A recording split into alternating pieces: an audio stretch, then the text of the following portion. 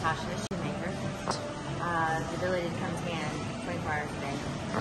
I enjoy it because it's it's got great Christian music. Um, people are very friendly, and the uh, the fitness uh, trainer is very friendly and helped me. Um, the ability to come with the judgment-free zone of people are, you know, Yeah. very nice and fun.